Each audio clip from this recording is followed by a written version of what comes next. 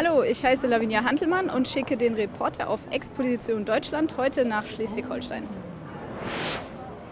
Und zwar genau nach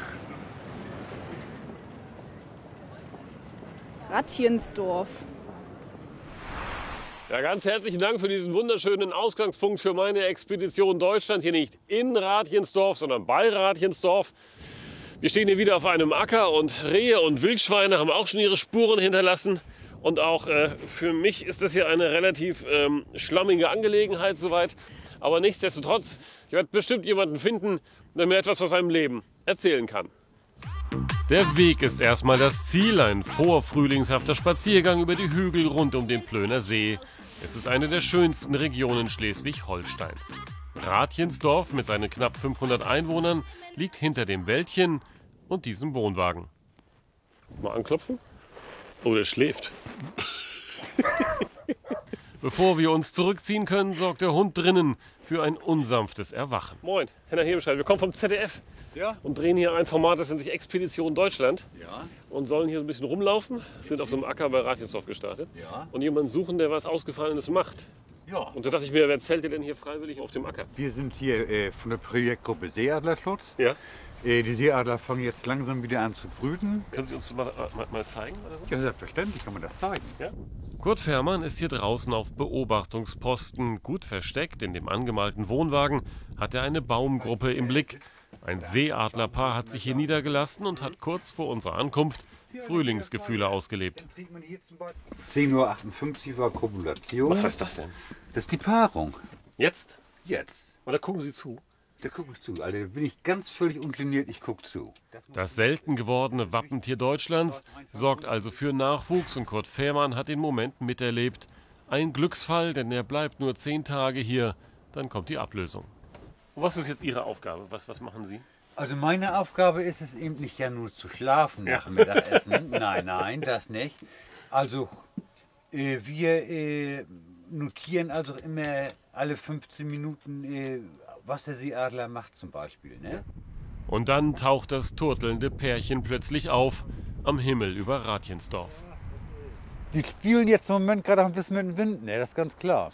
Mit einer Spannweite von gut zweieinhalb Metern gleitet Deutschlands größter Greifvogel majestätisch durch die Lüfte.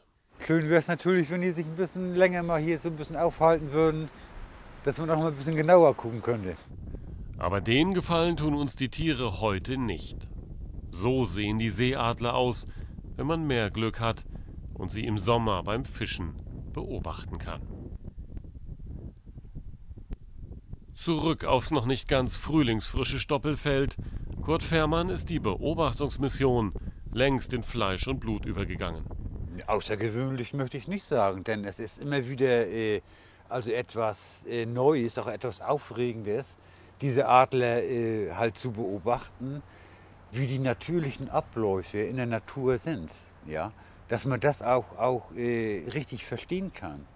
Wenn er hier draußen ist, lebt er ganz für die Seeadler, weiß vieles über die Greifvögel zu berichten. Über sein Privatleben erzählt er nur spärlich. Was haben Sie früher hauptberuflich gemacht? Kabelmonteur, Rücken schön kaputt gemacht und ja.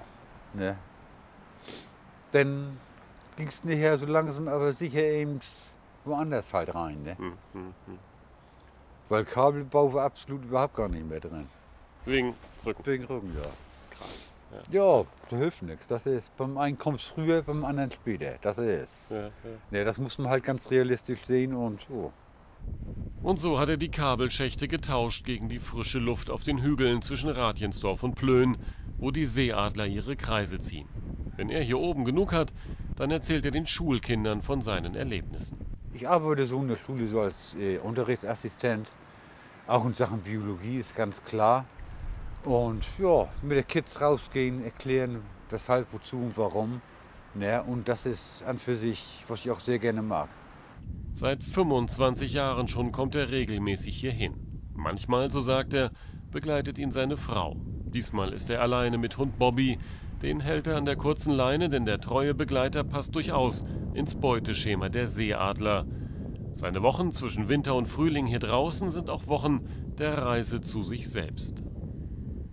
Man freut sich zwar auch dann, wenn man wieder nach Hause kommt, das ist ganz klar. Aber eben wie gesagt, es ist, ja, es ist einfach, ja, man, man kann irgendwie aus sich rausgehen. Ne? Man hat keine äh, derartigen Verpflichtungen oder sonst irgendwas. Wenn man los will, dann geht man los. Und wenn man zurückkommt, guckt, kommt man halt wieder zurück. Ne? Und das ist das, was natürlich auch im Leben zählt oder Leben zählen soll, dass man diese Zeit tatsächlich auch hat. Ne?